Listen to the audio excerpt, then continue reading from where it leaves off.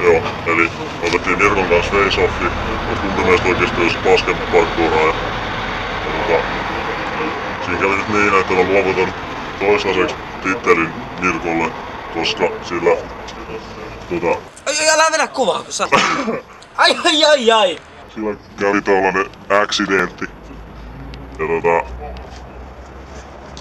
se ei päässyt yhtä presiin, mä pääsin, tai se hyväksyttiin, mä pääsin sen. Mutta mä otin alusta face syksyllä. Mä haluan sanoa kaikille mun faneille, jotka on tukenut mun alusta asti, että mä oon aina tiennyt, että mä oon huodellut parkourammin kuin Jesse. Ja selventäkääs vielä yleisölle, joka ei ole Ines tässä parkour että mitä se presi nyt oikeasti niin käytännössä on. Presi on... Presio on tarkkuushyppy, missä hyppy. Juho voi näyttää mikä on presi.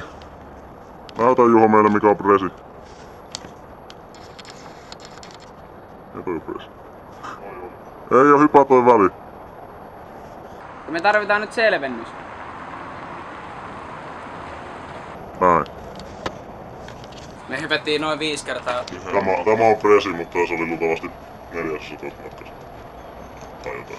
Joo. Onneksi olkoon. Kiitos. Vaalista titteli ja nyt, nyt pelaa siinä.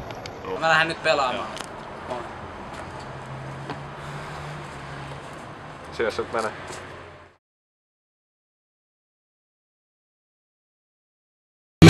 True.